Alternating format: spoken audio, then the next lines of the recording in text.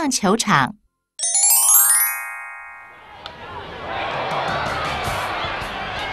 小波是个热爱棒球的男孩，常常跟着爸爸一起看电视转播的棒球比赛。这一天，爸爸妈妈决定带小波到棒球场现场感受比赛的刺激。小波兴奋极了，对什么都充满了好奇。哇，好大的棒球场哦！原来棒球场这么大。对呀，小波，你看，每个垒上都有个白白的帆布包，那就是垒包啊。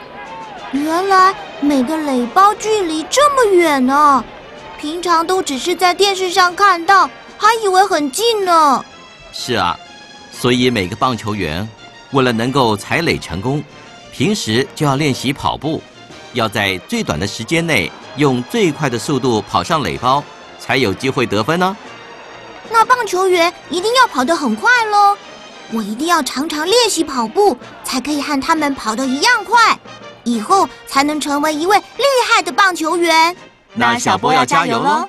哦，对了，小波知道棒球要怎么样才能得到一分吗？我知道，打击手要在球传到垒包前顺利到达垒包上，并且要依序从一垒跑到二垒，再跑到三垒，最后回到本垒就可以得分了。没错，垒包和垒包之间。都有一条用油漆或粉笔画的白线，这些线就叫做垒线。棒球员就是要沿着垒线跑回本垒，而垒线围成的区域就叫做内野，以外就叫做外野。外野比内野大好多哦。其实啊，不同的棒球比赛场地的大小也有些不同哦。例如，少棒场地中，垒和垒之间的距离。